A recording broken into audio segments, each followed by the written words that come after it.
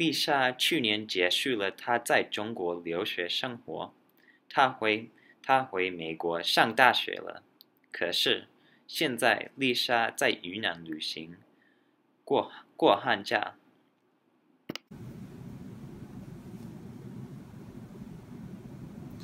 喂，你好，丽莎，我我是李文，你还记得我吗？当然啦，你最近好吗？好好，我在脸书，我在脸书上看到你现在在中国。我的确在中国，我在大学学习的非常忙，压力很大，所以我们放寒假以后，我就决定来中国轻松轻松。嗯嗯，啊。很好啊，呃，春节还有三天就到了，嗯，我很久没看到你了，我想请你来我家过春节，你觉得怎么样？听起来很好玩，那我呃后天从云南坐火车去北京找你。太好了，我可以在火车站接你。好，那我们后天见吧。再见。丽莎，丽莎，我在这里。哦，哇，车站挤满了人，我差点没有看到你。我们太久不见了，拥抱一下。我也很高兴，我再次可以看到你。坐火车，呃，到这里怎么样？还不错。我以前我以前坐火车的时候都会坐硬卧车，但是这一次为了有新的体验。我坐了软卧车，虽然硬卧车票比较便宜，啊，硬卧车不如软卧车舒服。我决定以后我只坐软卧车。那太好了，好像从云南坐火车到这边真的很好，嗯，又可以好好休息，又可以看到美。中国美丽的风景。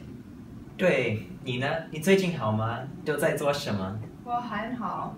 我们先去我家吧。嗯，我知道车上买卖的盒饭很难吃，你一定很饿。我们回我家吃饭，嗯，接着聊。好吧。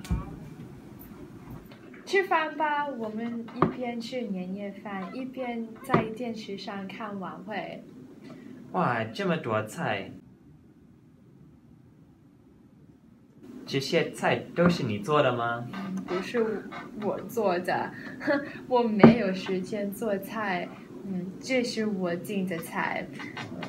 哎呀，我的肚子饿死了，我今天还没吃饭。真的吗？为什么？你回美国以后，我竟然变得忙得不得了。我的父母生病了，所以，嗯，除了除了工作学习以外，我还得照顾我的父母。嗯，我整天都很辛苦，可是晚上还得开夜车。啊，难怪你这么累，你没照照顾你自己啊？你有时间锻炼身体吗？没有，现在我喜欢吸烟和喝酒。